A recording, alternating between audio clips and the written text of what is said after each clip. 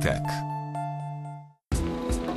Nova Delhi é conhecida na Índia como a capital das violações devido ao elevado número de crimes sexuais. Não é por acaso que as tecnologias que permitem melhorar a segurança das mulheres tenham cada vez mais sucesso, em particular as aplicações baseadas em sistemas de geolocalização.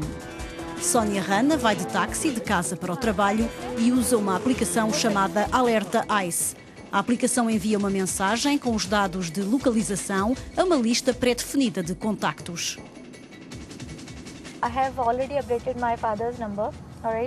Já atualizei o número de telefone do meu pai. Quando entro no táxi, mesmo se for à uma da manhã, ele recebe a informação de que entrei no táxi com a localização precisa. A cada 15 minutos, recebe a atualização da localização.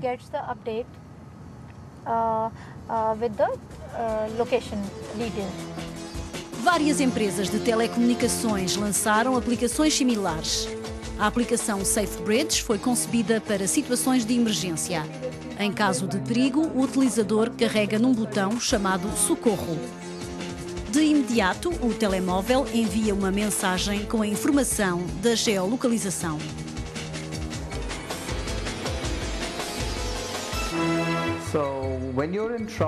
Quando uma pessoa está em perigo, o mais importante é poder usar o botão para pedir ajuda, o que permite enviar um SMS aos números pré-gravados.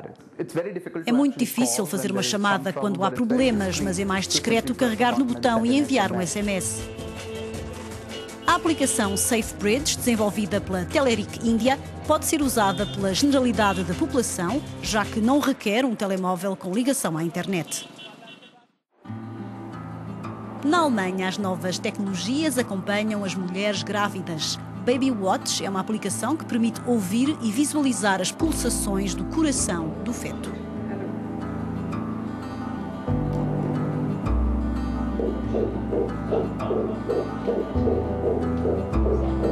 Aplicação inventada pela eslovena Urska Strens requer apenas um smartphone.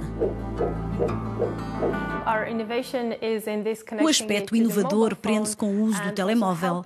A aplicação pode ser usada por qualquer pessoa que assim pode aceder a uma experiência interativa. A grávida pode gravar o batimento cardíaco e partilhá-lo com os próximos.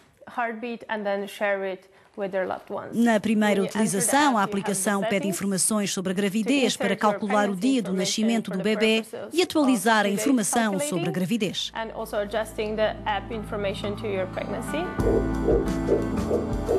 Para usar a aplicação, o utilizador deve desligar a internet para evitar o contacto do bebê com as ondas eletromagnéticas.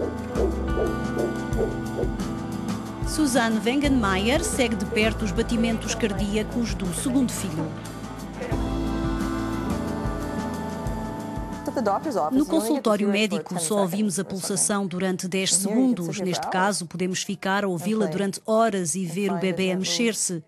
É muito bom para os pais. O meu marido vai ficar contente porque é uma tecnologia com botões e luzes. Para os homens, o relacionamento com o bebê é mais difícil. Antes do nascimento, penso que ele iria usar a aplicação todas as noites. A aplicação Baby Watch custa 99 dólares, cerca de 75 euros. A inventora da tecnologia espera que ela possa ser usada pelos médicos para seguir as pacientes à distância.